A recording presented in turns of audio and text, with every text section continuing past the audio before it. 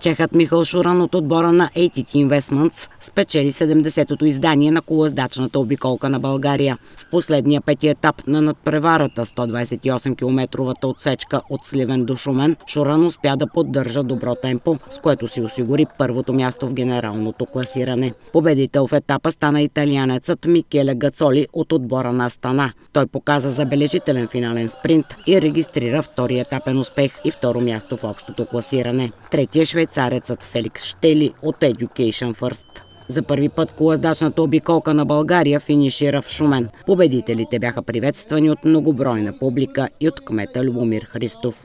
Благодарим на спонсорите. Благодаря на председателя на федерацията, че избра нашият град.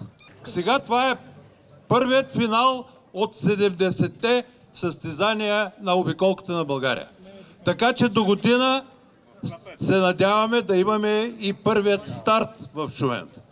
Пожелавам на всички състезатели много здраве и сили, за да имат и нови успехи. Кметът Любомир Христов удостои със специална награда – плакет с Мадарския конник и най-добре представилият се български колоездач до 23 години – Габриел Грозев. Председателят на Българската федерация по колоездене Драгомир Кузов връчи специални отличия на кметския екип и изрази благодарност към спонсорите и всички институции, допринесли за добрата организация и безпроблемното провеждане на колоездачната обиколка.